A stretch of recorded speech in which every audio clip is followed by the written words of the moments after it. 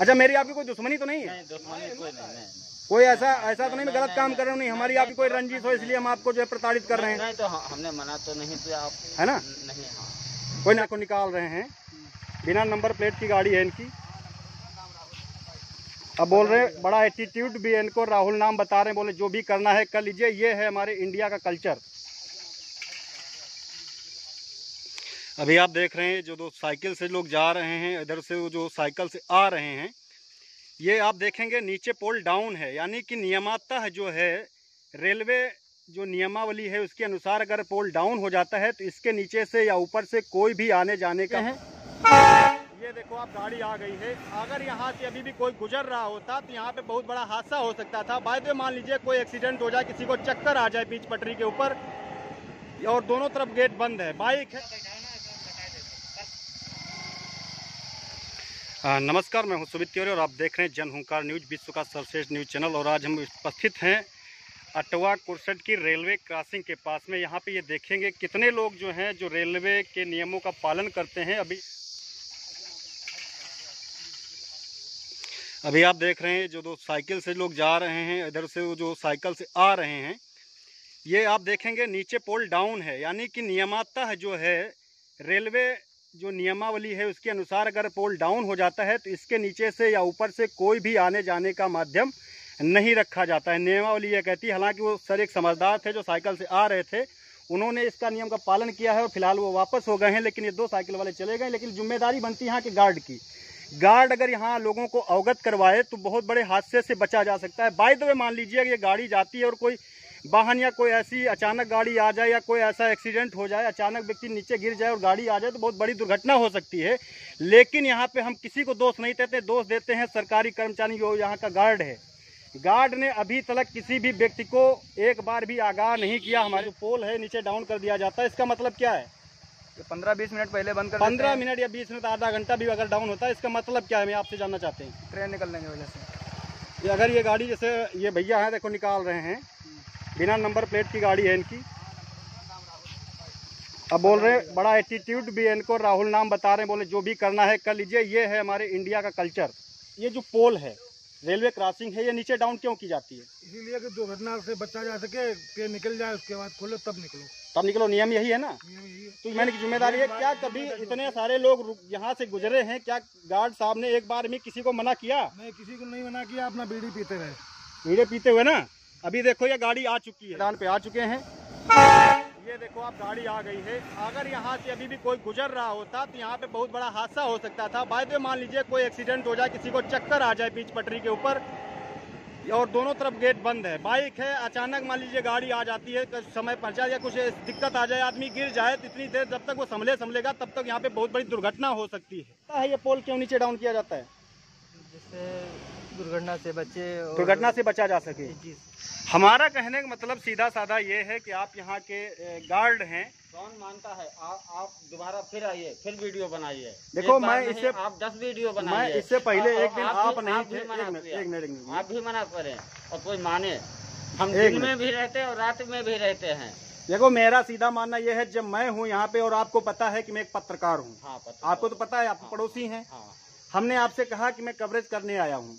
उसके बावजूद भी आपने यहाँ पे जितने भी लोग आते जाते थे आपने किसी को मना नहीं किया। हमने गेट जब बंद है हम गाड़ी देख रहे थे। यहाँ पर मोड़ बहुत है।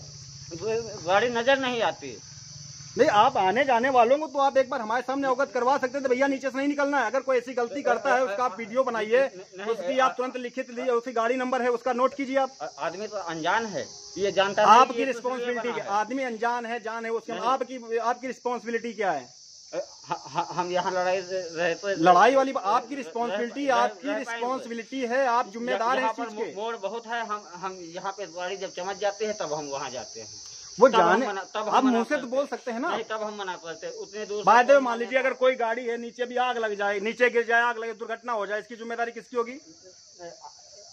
मतलब जब बंद है तब उसे निकलना नहीं चाहिए। फिर वही तो मैं कह रहा हूँ मैं भी तो हाँ। वही कह रहा हूँ आप हाँ, गार्ड हैं। आपने मना क्यों नहीं किया? त- तमाम बार हमने पहले मना किया। हमारे सामने तो तो- आपने नहीं तो- मना किया जब तो- हमने तो आपको बता के आए जब मैं बता के आपको आया कि भैया मैं यहाँ कवरेज करने आया हूँ उसके बावजूद आपने मना नहीं किया क्यों? यहाँ पर हम रात में अकेले रहते हैं हम तुझसे लड़ाई ले। लड़ाई नहीं लेना है आप मुझसे तो कह सकते हो।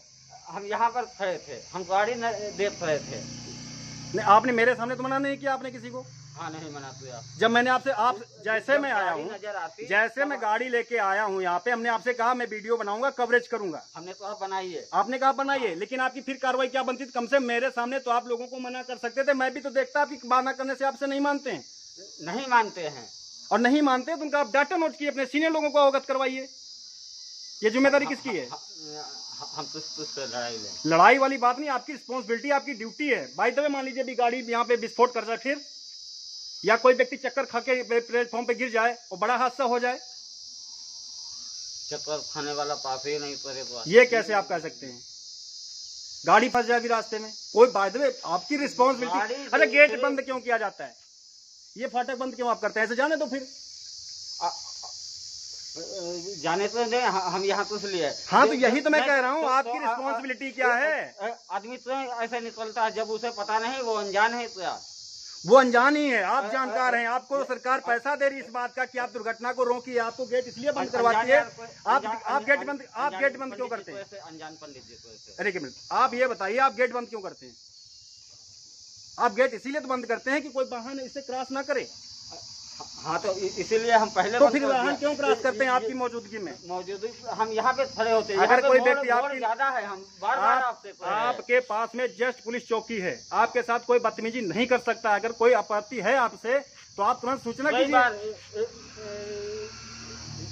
यहाँ पे कोई आ- बार फौजी से भिड़ हुए। यहाँ पे फौजी ट्रीटमेंट थे उन्हें मारने को तैयार हुए। वहाँ गए तो वहाँ से कोई आया नहीं। के आ रहे हैं।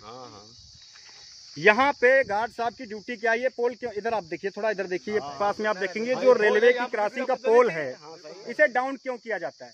बंद बंद फाटक बंद होना चाहिए। भाई की क्यों बंद किया? है। मैं कहता हूँ हर जगह बंद होता है क्यों होता है? सवारी आई रही बाई चांस घुस गई। ये बहुत सही। क्यों बंद होता है ये बताइए। कौन होगा? हैं? जिम्मेदार गार्ड हुई है घुस जाए कोई आदमी बच्चे ये बंद इसीलिए होता है कि कोई गाड़ी इधर से क्रॉस न करे कोई व्यक्ति इधर से आर पार क्रॉस न करे जब तक गाड़ी सुरक्षित निकल ना जाए। इसीलिए तो बंद किया जाता है। और गार्ड की रिस्पॉन्सिबिलिटी क्या होती है? अगर कोई निकलता है उसको मना करे। राइट सही सही। अगर कोई व्यक्ति नहीं मानता है तो उसका सुरक्षित डाटा नोट करे कि कौन सी गाड़ी नंबर है।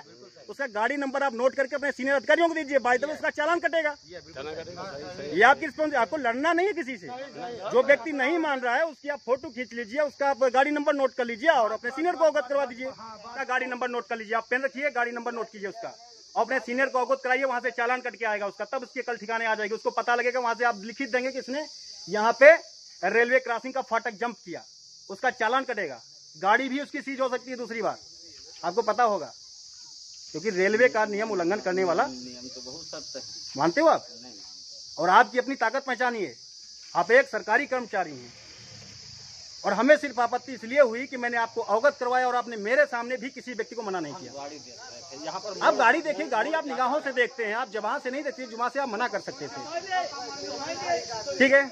आगे आपसे उम्मीद करें कि आप पूरे नियम का पालन करेंगे। नहीं पालन हम ज़रूर करते हैं। अगर दोबारा मैं अगर कल मॉर्निंग में आता हूँ तो आप यहाँ पे लोगों को मना करते हुए नज़र आएँगे हमको। रहेंगे तो मना करेंगे चलो मैं किसी दिन आऊँगा और फिर से आपका यही निरीक्षण करूँगा। अगर आप अपनी ड्यूटी का ईमानदारी से निर्वहन करेंगे तो फिर भी हम आपको दिखाएँगे। ड्यूटी में हम लापरवाही नहीं करते। अच्छा मेरी आपकी कोई दुश्मनी तो नहीं है? दुश्मनी कोई नहीं ऐसा ऐसा तो नहीं मैं गलत काम कर रहा हूँ नहीं हमारी आपकी कोई रंजिश हो इसलिए हम आपको जो है प्रताड़ित कर रहे हैं। नहीं तो हमने मना तो नहीं किया आप है ना? नहीं हाँ। कोई नाराज़गी तो नहीं है ना? ठीक है ये गार्ड साहब है नाम क्या अभी आपका? राम प्रकाश राम प्रकाश सनाफ राम आप गार्ड ही हैं। डेजिग्नेशन क्या है आपका? पोस्ट क्या है? गैटमैन गैटमैन ठीक है धन्यवाद।